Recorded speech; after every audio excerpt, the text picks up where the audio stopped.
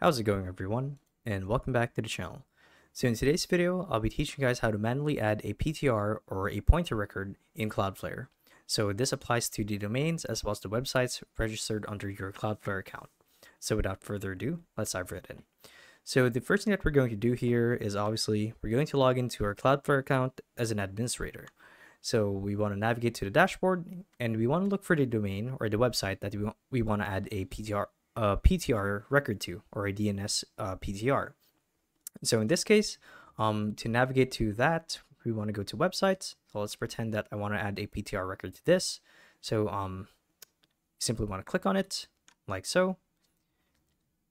And it's actually wait for it to load. So um, I don't actually have the plan set up for uh, this website, but once you guys are here, you will click on DNS and then you want to go to records. Now, um, here's where you guys actually get to add a PTR record or a pointer record.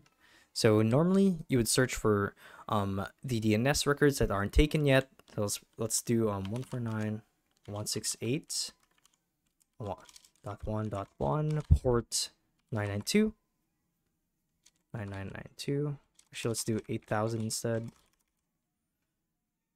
search see if it's taken Okay, so it's not taken. So we get actually get to add the record to our website.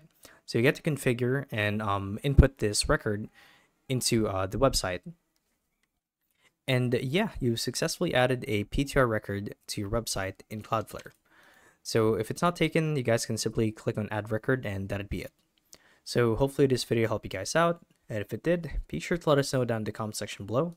And if you guys want to see more videos like these, we do have a YouTube channel where we do guides like these daily. So if you guys want to show your support that, you can do so by subscribing to the channel. So with all of that said, thank you all for watching, and we'll see you guys in the next one. Bye-bye.